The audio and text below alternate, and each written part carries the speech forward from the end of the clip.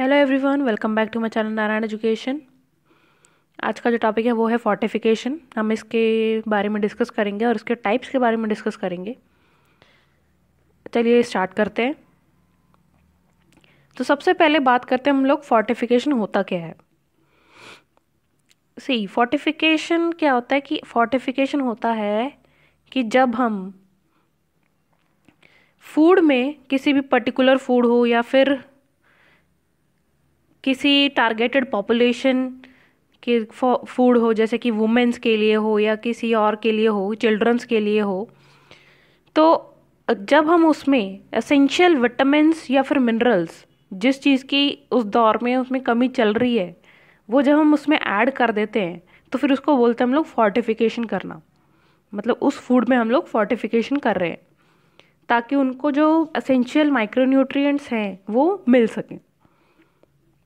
Okay so it is the practice of increasing the content of essential micronutrients like vitamins and minerals in food so as to improve the nutritional quality and to minimize the risk of health okay ताकि कम से कम जो है बीमारियाँ जो हैं हो सके।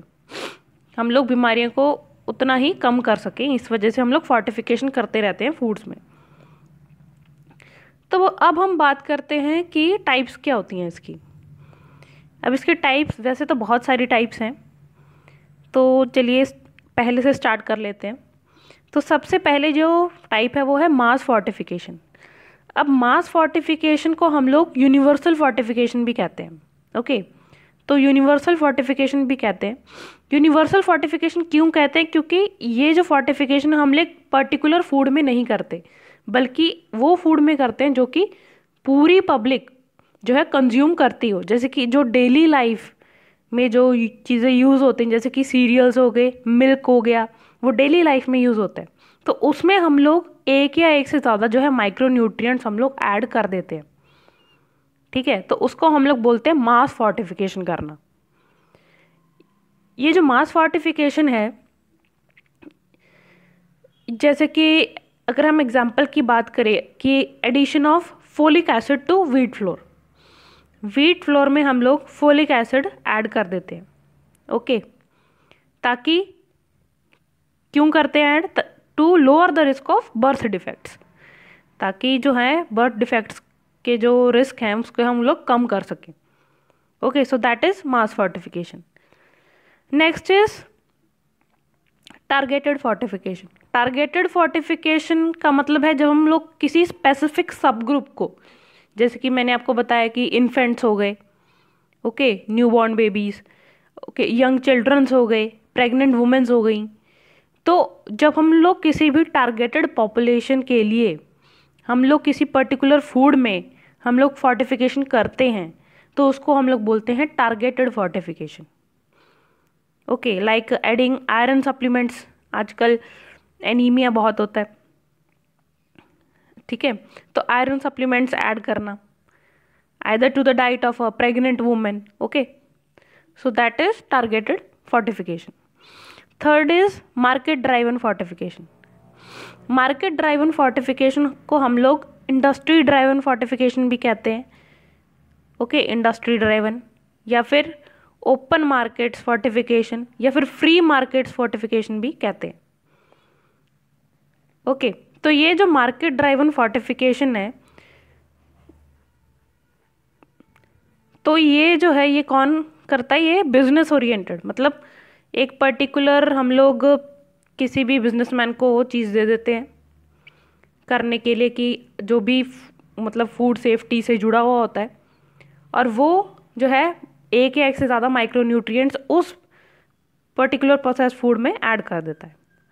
So that is market driven fortification और इंडस्ट्री ड्राइवन फोर्टिफिकेशन ओके और एक और एक आता है कि मैंडेटरी और वॉलेंट्री फोर्टिफिकेशन ओके तो मैंडेटरी फोर्टिफिकेशन और वॉलेंट्री फोर्टिफिकेशन में क्या डिफरेंस है? मैंडेटरी फोर्टिफिकेशन का मतलब है जो कि लॉज और रूल्स के थ्रू गवर्न किया जाता है। मतलब ये जो है, ये गवर्नमेंट के अंडर होता है। जब भी गवर्नमेंट किसी एक पर्टिकुलर फ़ूड के लिए उसमें माइक्रो न्यूट्रिएंट्स ऐड करने के लिए कहती है, यानी कि फोर्टिफिकेशन करने के लिए कहती है so that comes under mandatory इसका जो टारगेट होता है, वो हेल्थ पर होता है, ना कि सेल पर।